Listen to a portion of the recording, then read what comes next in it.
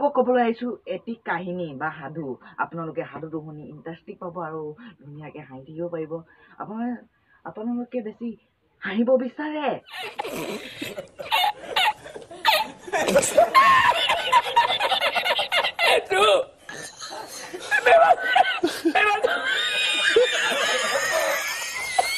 নে কান্দিব বিচাৰে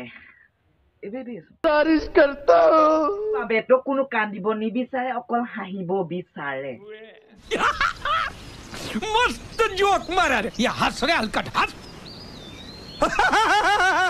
থাকিবলৈ এইটো মই ভিডিঅ' বনালো আৰু ভিডিঅ'টো হৈছে কি মই ইউটিউবৰ পৰাই চাই পিনে মই এইটো ক'ব ওলাইছো আৰু যদি কোনোবাই যদি এইটো মোৰ ভুল পাইছে তেতিয়াহ'লে কমেণ্ট বক্সত জনাব আৰু মই এনেকুৱা ভিডিঅ' নিদিওঁ যে লোকৰ পৰা শুনি পিনে আনৰ পৰা দি মই ভাবিছোঁ যে আনৰ পৰা শুনিয়ে আৰু আনৰ পৰা কম বুলি। ঠিক আছে। আনৰ পৰাতো শিকে মানুহে। তো এইটোকে কম বুলি ওলাইছো। বলক এতিয়া মই কাহিনীটো বা সাধুটো ষ্টাৰ্ট কৰো। ঠিক আছে মই কাহিনীটো ষ্টাৰ্ট কৰো। যে এজন বাপেকৰ চাৰিটা ল'ৰা আছিলে। এজন আছিলে এজনৰ নাম আছিল হেৰি ফটা। ভঙা ভঙা। এজনৰ নাম আছিল ভঙা তাৰপিছত ছেকেণ্ডজনৰ নাম আছিল ফটা। আৰু থাৰ্ডজনৰ নাম আছিল শুকান আৰু লাষ্টজনৰ নাম আছিল মৰা। আৰু এদিনাখন শুনি থাকো। এদিনাখন হ'ল আলহী এজন ওলালহি।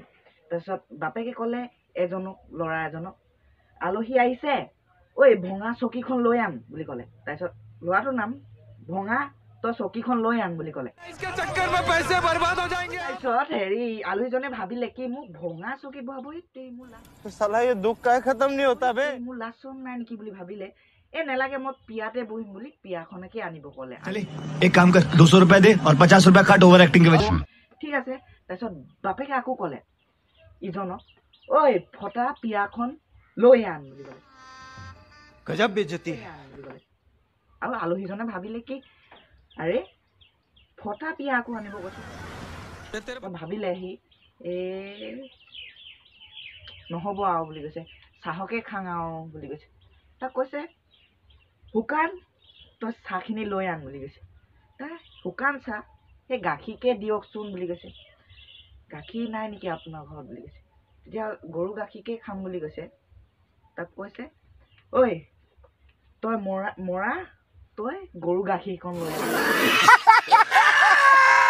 তাত ভাবিলে মৰা গৰু গাখীৰ কোনে খাব?